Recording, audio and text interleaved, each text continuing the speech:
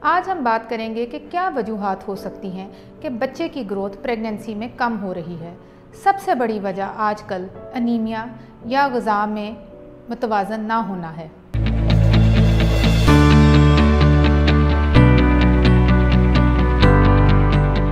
अस्सलाम वालेकुम मेरा नाम डॉक्टर खदीजा ख़ान है। मैं एक ऑब्स्टिटिशियन एंड गायनाकोलॉजिस्ट हूँ। मैं इस वक्त किंग एडवर्ड मेडिकल यूनिवर्सिटी में as an associate professor serve कर रही हूँ और मैं अपनी private practice new Iqra medical complex Akbar Chowk Johar town में और फैसल टाउन में खैरुनिसा हॉस्पिटल में करती हूँ। आज मैं जिस टॉपिक पे बात करने को कहा गया है, वो है बच्चे का प्रेगनेंसी में ग्रोथ का कम होना, यानी कि बच्चे की नशोनुमा प्रेगनेंसी के अंदर कम होना।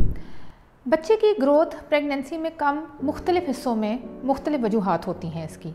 अगर हम बात करें प्रेगनेंसी के शुरू के हिस्से या पहले तीन माह में तो उसकी वजूहत यकसर मुख्तलिफ़ हैं उन वजूहत से जो आखिरी तीन माह में बच्चे की ग्रोथ को कम करने की बन सकती हैं। पहले तीन माह में अगर बच्चे की ग्रोथ नहीं हो रही तो उसकी सबसे अहम वजूहत हो सकती हैं, जैसे अगर बच्चे के अंदर कोई मारूसी मसला आ रहा है, यानी कि क्रोमोजोमल एबनॉर्मेलिटी आ रही है, या बच्चे के अंदर कोई कंजेनिटल प्रॉब्लम यानी बनावटी इशू आ रहा है, या फिर एंटी फॉस्फोलिपिड सिंड्रोम जिसमें कि खातून का खून कुछ गाढ़ा हो जाता है और बच्चे की प्रॉपर ब्लड सप्लाई नहीं जा पा रही होती और बच्चे की ग्रोथ रुक जाती है। अनफॉर्चुनेटली अगर बच्चे की ग्रोथ पहले तीन माह में कम हो रही है तो इसका प्रोग्नोसिस कुछ खास अच्छा नहीं होता और ज़्यादा चांसेस होते हैं कि मिस कैरेज की तरफ़ ऐसी प्रेगनेंसीज चली जाती हैं। अगर हम अगले तीन माह की बात करें या उससे अगले तीन माह की बात करें तो उसकी वजूहत यकसर मुख्तलिफ़ हैं। यूजली बच्चा छः माह तक seven two eight hundred grams तक वेट अटेन करता है। बाकी जितनी भी ग्रोथ बच्चे की होनी है, वो लास्ट थ्री मंथ्स में होती है। और अगर लास्ट थ्री मंथ्स में बच्चे की ग्रोथ उतनी नहीं हो रही, जितनी होनी चाहिए तो उसकी नंबर वन वजह कॉन्स्टिट्यूशनली स्मॉल बेबी हो सकता है। यानी कि हो सकता है कि कोई भी वजह ना हो, उसकी वालदा का स्टेचर छोटा है, उसके वालिद का स्टेचर छोटा है, उनकी हाइट छोटी है या उनकी अपनी फिज़ीक ऐसी है कि बच्चा कंपैरेटिवली छोटा है। या फिर दूसरी बहुत ही इंपॉर्टेंट वजह गज़ा में मतवाजन, मत यानी कि मतवाजन गज़ा का ना होना है। बैलेंस डाइट का ना लेना है ख़वान का, या प्रॉपर डाइट ना लेना है। और हम पाकिस्तानी फ़ीमेल्स के अंदर तो अनीमिया यानी खून की कमी बहुत कॉमन है। एक रिसर्च के मुताबिक 50 टू 60 परसेंट फ़ीमेल्स पाकिस्तान की अनिमिक हैं। और ये एक बहुत बड़ी वजह है, जिसमें, जिसकी वजह से बच्चा अपनी वो उतनी ग्रोथ अटेन नहीं कर सकता जितनी उसको करनी होती है टाइम के हिसाब से। तीसरी इंपॉर्टेंट वजह ब्लड प्रेशर की ज़्यादती, फिशार खून का बुलंद हो जाना। उसमें क्या होता है कि वो चैनल्स यानी कि प्लेसेंटा के अंदर वो वेसल्स जो माँ से बच्चे को खुराक पहुँचा रही हैं ब्लड पहुँचा रही हैं, वो तंग हो जाती हैं, वो सुकड़ जाती हैं। बच्चे को प्रॉपर खून नहीं जाता, बच्चे की ग्रोथ नहीं होती, जिसको, और इसके अलावा अगली वजह शुगर का हो जाना ब्लड में माँ की शुगर का हो जाना ब्लड के अंदर ज़्यादती हो जाना शुगर की। उसमें भी आम तौर पे जो वेसल्स होती हैं लेटर ऑन तंग हो जाती हैं, जिसकी वजह से बच्चे की ग्रोथ नहीं हो पाती। फिर ब्लड के कुछ माँ को ऐसे प्रॉब्लम्स हों, जैसे एंटीफॉस्फोलिपिड सिंड्रोम थ्रोम्बोफिलिया जिसके अंदर के खून थिक हो जाता है, मोटा हो जाता है, बच्चे को प्रॉपर नहीं पहुँच पाता, और फिर बच्चे की ग्रोथ नहीं होती। कैसे जान सकते हैं हम कि बच्चे को ग्रोथ का प्रॉब्लम आ रहा है? या वो कॉन्स्टिट्यूशनली स्मॉल बेबी है? या उसमें कोई पैथोलॉजी है जिसको हम इंट्रा यूट्राइन ग्रोथ रिस्ट्रिक्शन कह देते हैं? इसको जानने के मुख्तलिफ़ तरीके हैं। सबसे पहला तरीका तो हिस्ट्री है।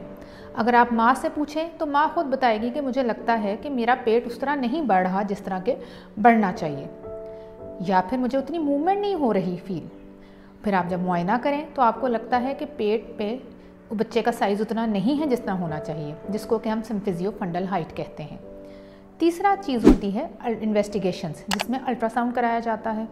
अल्ट्रासाउंड पर भी आपको पता चलता है कि प्रेगनेंसी तो इस वक्त चौंतीस हफ़्ते की है या थर्टी फोर वीक्स की है, लेकिन बच्चा जो है वो थर्टी वीक्स पे आ रहा है, बच्चे का पानी भी हो सकता है कम हो। फिर फर्दर एडवांस अल्ट्रासाउंड कराए जाते हैं, जिसको डॉपलर अल्ट्रासाउंड कहते हैं, जो कि बच्चे की तरफ़ ब्लड सप्लाई को शो करता है कि वो ब्लड सप्लाई सही है या उसमें कोई रुकावट है। अगर उसमें कोई रुकावट आ रही है तो फिर हम इसको कह देते हैं कि ये इंट्रा इंट्रायूट्राइन ग्रोथ रिस्ट्रिक्शन है और उसकी वजह जानने की कोशिश करते हैं। अब हमें पता चल गया कि ये बच्चा अपनी ग्रोथ पूरी नहीं ले रहा। तो अब हमने वजह जांची कि क्या वजह है। अब उस वजह को ट्रीट करना सबसे पहली इसकी शर्त है। अगर खून की कमी है तो उसको पूरा करें ब्लड प्रेशर है तो उसको कंट्रोल करें शुगर है तो उसको कंट्रोल करें। अगर एंटीफॉस्फोलिपिड सिंड्रोम है तो माँ को ऐसी दवाइयाँ और टीके दिए जाएँ, जिनसे कि खून को पतला किया जा सके और वो बच्चे की नशोनुमा की जा सके। ये तमाम चीज़ें हैं जो कि बहुत ज़रूरी हैं। किसी भी बच्चे को की ग्रोथ के लिए। अभी तक मैंने आपको ये बताया कि क्या क्या वजूहत हो सकती हैं कि बच्चा अपनी ग्रोथ पूरी नहीं कर रहा या बच्चा अपने टाइम से छोटा है और हम उसको कैसे उसकी तशीस कर सकते हैं और उसका इलाज क्या हो सकता है।